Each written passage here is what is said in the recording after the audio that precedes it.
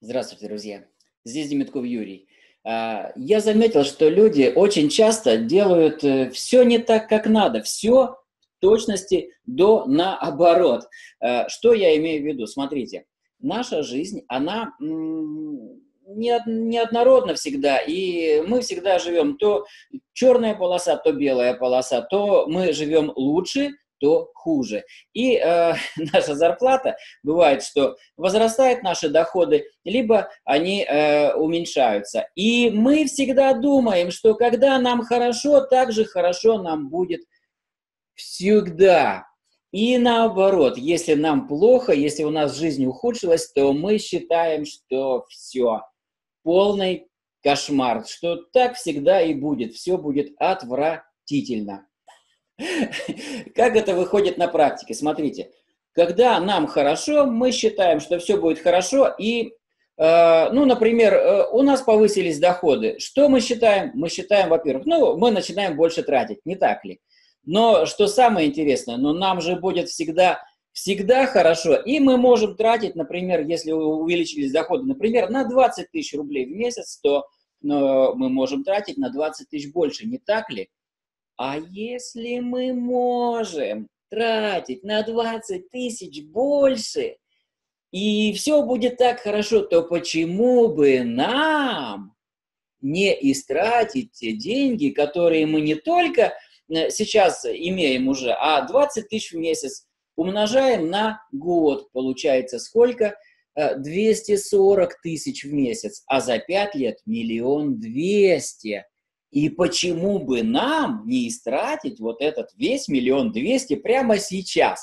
То есть взять в кредит квартиру, а что нам стоит? У нас же все хорошо, и будет все хорошо так же, как и было. Вот, э, как вы считаете, есть такой момент или нет? И наоборот, когда у нас плохо, то мы считаем, что все, полный кошмар, будет плохо, и когда нам плохо, у нас доходы уменьшились, мы понимаем, что может быть еще хуже. И вот в этот момент как раз мы начинаем и откладывать на черный день. То есть, смотрите, когда хорошо, мы не откладываем, мы тратим все, и даже то, что мы не заработали. А когда нам плохо, мы начинаем откладывать на черный день, мы влезаем в долги, э, ну, потому что нам просто не на что жить. А надо же точности до наоборот, смотрите, нам хорошо, мы часть из того, что мы зарабатываем, откладываем на черный день. А когда нам плохо, мы можем воспользоваться этим запасом. И таким образом у нас э, стабильность. То есть, э, когда все тратят, ну, мы тратим поменьше, да, может быть, мы живем чуть хуже, но зато, когда м, все ужимаются, когда все экономят каждую копеечку, то нам хорошо, потому что у нас, ну, по крайней мере, есть на что жить. И именно так и надо, э, я считаю, делать. Именно к этому я и призываю. Но сейчас я хочу попросить вас, чтобы вы написали в комментариях, э, вот, э, согласны вы со мной или нет, и какие глупости вы делаете. Ну, а пока, ну, или ваши знакомые, а пока вы думаете над этим, написать или не написать, я вам расскажу о тех глупостях, которые совершал я сам. То есть я все делал вот точности, э, как не надо делать. Смотрите, а, я долгое время жил, ну, там, при социализме, там все жили бедно, и э, я был студент, я из сельской местности приехал в город, понятно, что, сказать, там я мечтал о квартире, мечтал о машине и так далее, но это только мечты, откуда деньги могли взяться. И вот, значит, начало 90-х, э, квартиру я тогда, ну, я уже получил квартиру, скажем так, я ее строил, там, да, были, но я не затратил, тогда еще квартиры не покупались, не продавались, а их просто давали там на предприятие. Я ухитрился получить квартиру, двухкомнатную, у меня была квартира. И я решил уйти в бизнес, как только вот была возможность, с начала 90-х. И м- тут же мои доходы взлетели. Что первым делом я сделал? первым делом я решил купить машину. А, это была иномарка Ford Escort. А, ну, он бэушный был, значит, там... Короче, он взорвался на второй день, двигатель взорвался. Ну, так получилось. Вот. Э, ничего страшного, денег было много. А, мы вскоре, через полгода, уже поехали, полетели в Париж, там купили, значит, одну машину с моим компаньоном, и э, в Роттердаме я фактически не имея никакого опыта вождения, покупаю себе э, восьмерку. Я решил так, что если я доеду живой до родины, то, в общем, я буду уже уметь водить машину, вот такие отчаянные мы были. Ну, э, что случилось? Я доехал вполне живой, без аварий, и я уже действительно умел хорошо водить машину, потому что я проехал э, Голландию, Германию, Польшу, вот сказать, Белоруссию и так далее. То есть я уже умел э, ездить, э, сказать, ну, как бы неплохо. Ничего страшного не происходило. Почему? Потому что, ну, во-первых, доходы были огромные, а во-вторых, это позволяло нам на те деньги, которые мы зарабатываем, тратить их. Э, то есть мы купили машину, потом, значит, мы улучшили свои жилищные условия. Я из двушки переехал э, в трехкомнатную квартиру.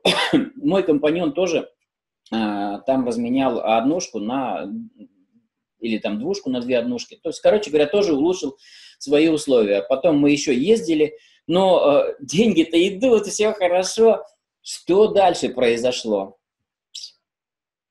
Дальше, ребята, о чем еще можно мечтать? Машина есть, квартира есть, там две даже машины было, так сказать, так сказать еще и на жену э, через год привез машину. О чем еще мечтать? Что дальше? Домик у моря. Вот, какое должно быть море? Не Охотское, не Белое море, э, и даже не Черное, Э, Средиземное море, понятно, значит, мы летим в Испанию и по полной, значит, покупаем там квартиру. Но э, понятно, что, как я уже говорил в начале, э, кредит. Мы взяли кредит, мы взяли эту квартиру в ипотеку, значит, там, в Испании. Что произошло позже?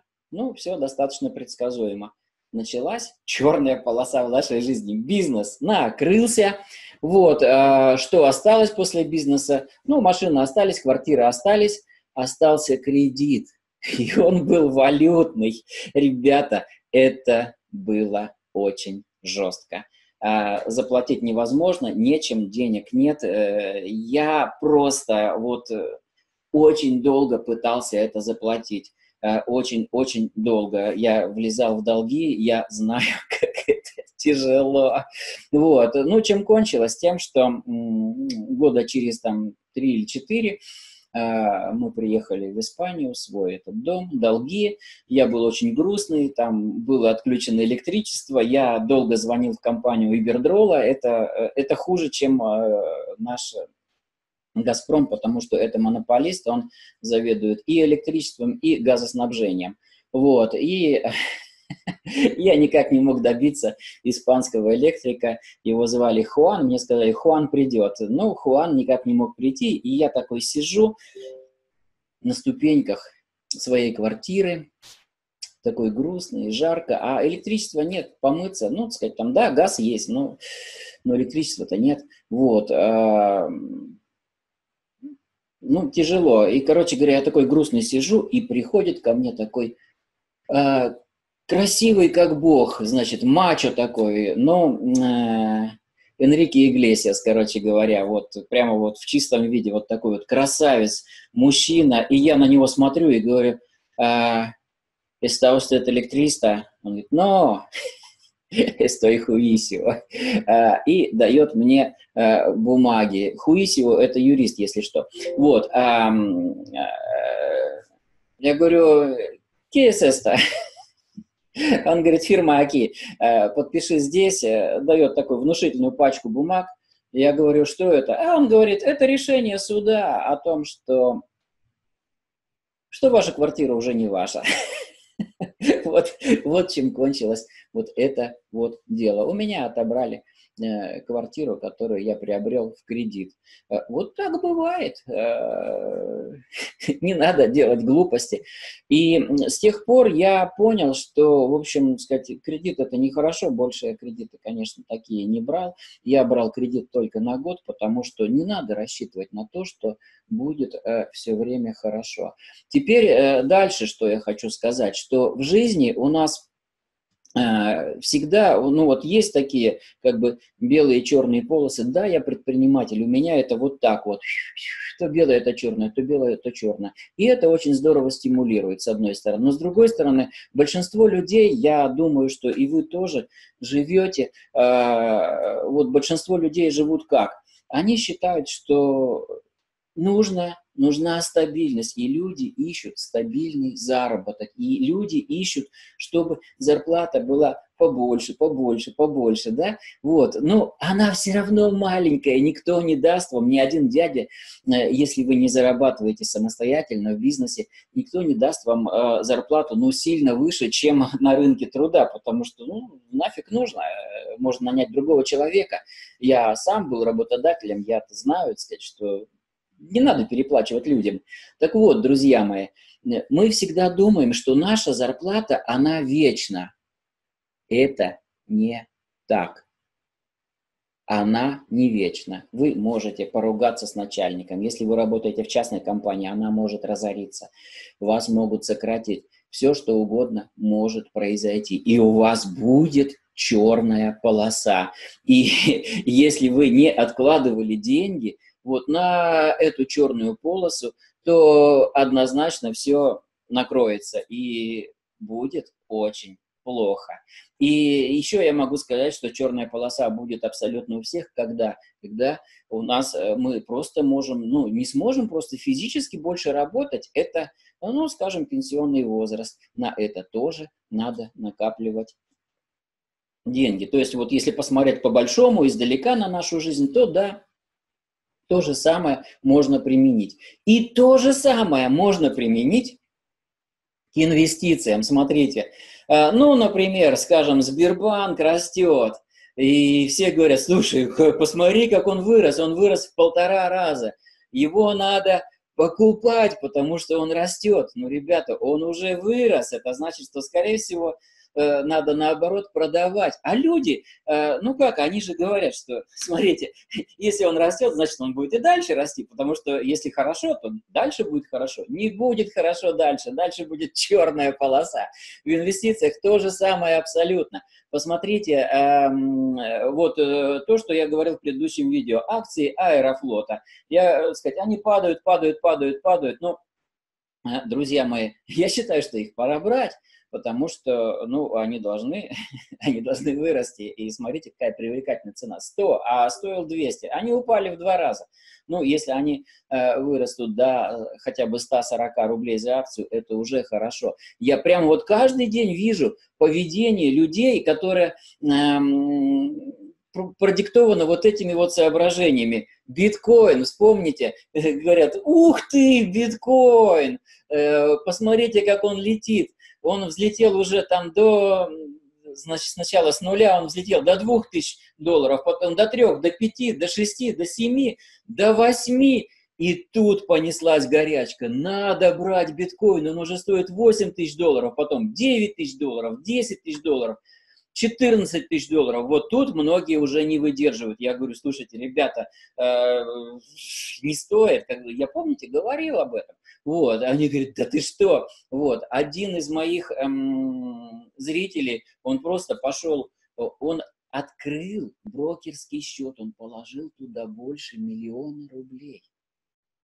Так вот, он побежал, и когда биткоин стоил 14,5 тысяч долларов, он снял все, и вложил все в биткоин. Вот. Эм, это было где-то в середине октября 2017 года, по-моему, да? Вот. А, ну, вы знаете, сколько стоит сейчас биткоин. Вот. Э, мораль какая?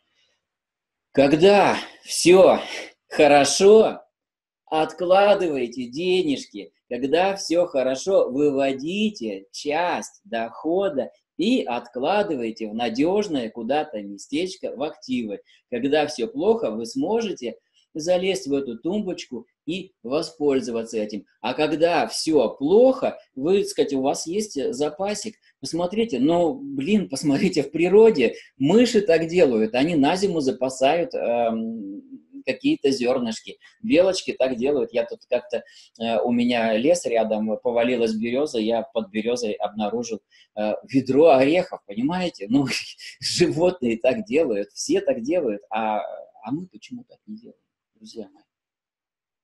А мы почему так не делаем? Напишите, пожалуйста, что вы думаете по этому поводу, какие глупости вы совершали, и э, согласны ли вы со мной в том, что э, когда хорошо, надо как раз откладывать, а когда плохо, ну, если мы не можем откладывать, то не можем. Но э, на пенсию уж точно надо вкладывать и создавать источники пассивного дохода. И вы видели, вот в одном из прошлых видео я показал э, эффект, который получается, где ипотека наоборот, что если мы начинаем откладывать, то буквально через 10 лет у нас создастся пассивный доход, который, на который можно запросто уже жить и вообще не заботиться о работе. Поэтому, друзья мои, я очень хочу, чтобы вы поделились вот этим видео со своими знакомыми, которые совершают глупости э, в жизни, э, потому что, ну, это важно, потому что, ну, вот э, я после того, как совершал кучу глупостей, я в 40 Пять лет мне было, когда я начал инвестировать. Сейчас у меня уже есть пассивный доход. Ну, ну где-то, ну, там, ну, 60 тысяч рублей где-то есть пассивного дохода. Но эти деньги, согласитесь, уже как-то можно прожить. И я рассказываю об этом всем, друзья мои. Оставайтесь на моем канале. Я рассказываю, как создать источники пассивного дохода. И давайте вместе уже делать это.